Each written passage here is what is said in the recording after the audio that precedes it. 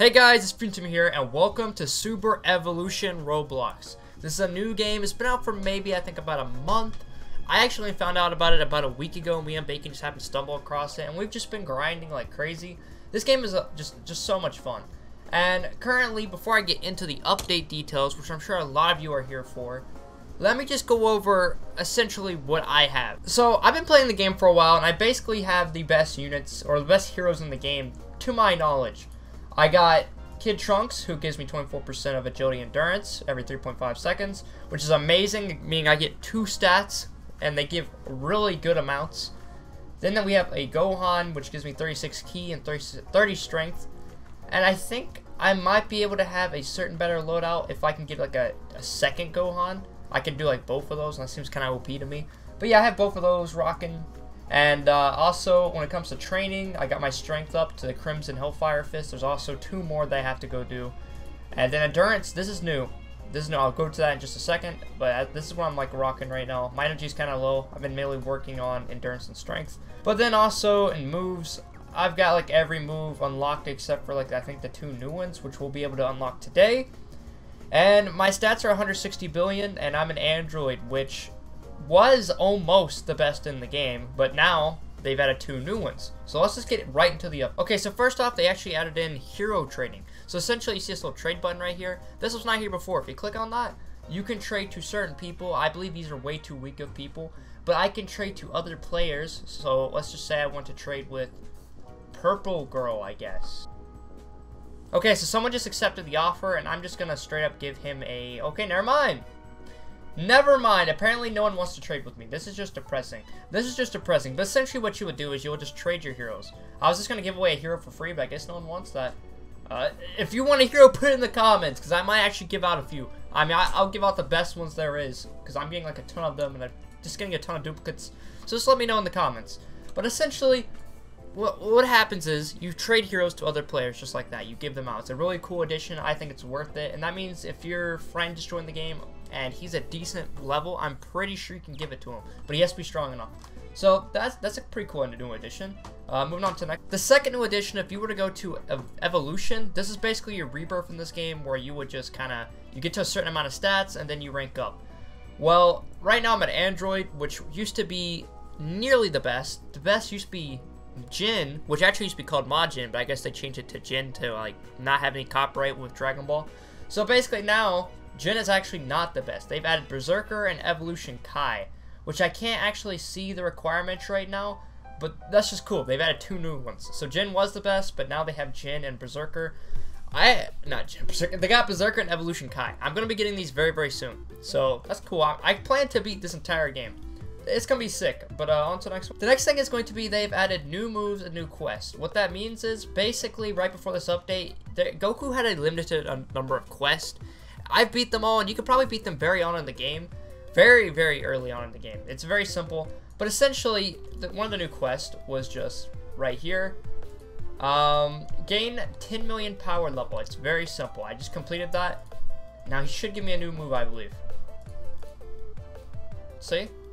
That was really quick. The results of your training are clear. The Earth Thugs have been getting stronger. There's become too many for me to handle. Okay, I'll need your help in clearing the city and keeping citizens safe. Okay.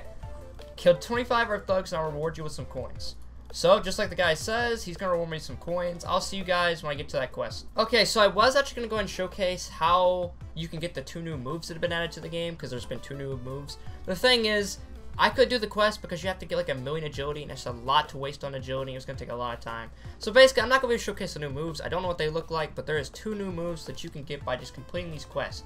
It actually used to end a, a, lot sooner, but they've added a lot more quests now, so that's pretty cool. It's a new way to get gold. But uh, yeah, we're just gonna move on to the next one because I just I, I, can't do it. It's that simple. I, am not gonna do it in this video. They've now added performance mode, which is another thing they've added to this update. Basically, you would hit this setting right here, and you could click on performance mode, and this is what it looks like. It, yeah, as you can see, the trees are kind of weird, but they kind of look better in their own way. I don't know. It's kind of it's something. Because, like, whenever you turn this on, the trees, they look realistic, but at the same time, they look really stupid. So, I, I don't know. It's just... Basically, choose what you prefer. If you like a cartoony style, maybe go performance mode. It might help out your computer a lot. But if you can handle it and you like it better, go to the high performance mode. Not high performance mode. Just just keep this off, basically. Do not use performance mode if you like it better this way. And uh, that's essentially all it is. It's going to help out a lot of Xbox players and PC players. And I guess on to the next one. They've now added new transformations, which basically means if you were to go to moves right here, as you can see, there's a ton of transformations. I can't see what they are. The highest one I have is Super Saiyan Blue, which I can't, I don't get another one until 85 trillion. So you, you already know there's a ton of forms in this game, and they're really, really hard to get. So basically, it gives you something to work up to. But essentially, they've added more forms. They've added two new transformations. So that's kind of cool if you can get to see them. It gives you something to work towards, and I'm, I'm interested to see what they are eventually. And on to the next one. They have now added new upgrades, which essentially, if you were to hit train, you're going to see that endurance there's now advanced workout. This was not here previously. They've just added this. And I believe they've added a new strength. And they might have added some other ones like energy and agility, but I'm not completely sure. But all I can say is this is the endurance one. Where the original was a push-up, now you're doing like a uh, like a handstand push-up. What would you call this? But yeah, it's pretty sick. I, I like that they took the time to make these animations because I bet it takes a lot of time. And it's pretty OP. As you can see, I'm being 1 million endurance, which to me is quite a bit. And I bet it's also because it's a 1.5 stats weekend. So I guess every weekend they're going to do that, hopefully. So yeah, make sure to log on in the weekend. And there is one more thing. The last thing is going to be they have a limited time hero capsule as they call it, but it's basically this thing right here. It costs Robux.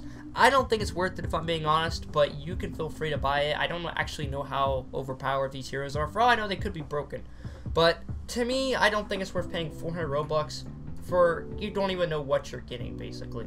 But essentially they're all Majins and they're limited and it's probably going to go eventually.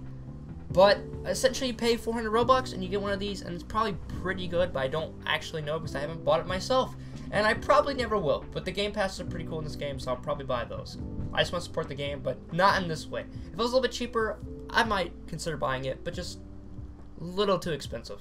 Okay, guys, that's going to be everything from this this update in total. Like, there's literally nothing else to cover in this update but I am just loving this game. I planned to make a ton more videos, so if you haven't already, please do subscribe, hit that like button, and hit that notification bell. That way you'll be alerted when new videos come out.